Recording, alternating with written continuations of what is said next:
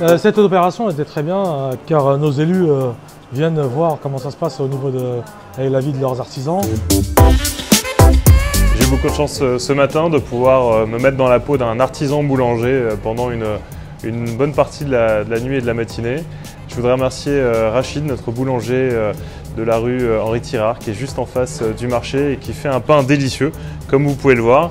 Euh, peut-être qu'aujourd'hui il sera peut-être un tout petit peu différent que d'habitude puisque euh, j'y ai un peu contribué.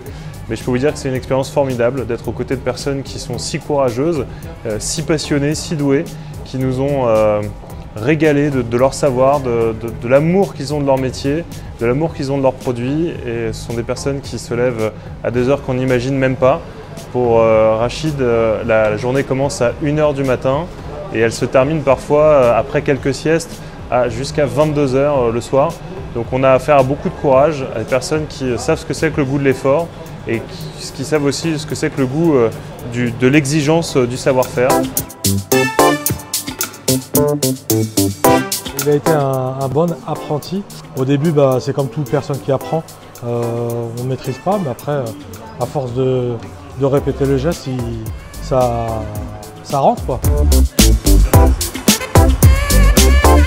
on va, finir de décorer euh, les tartelettes qu'on a fait moi et monsieur le maire.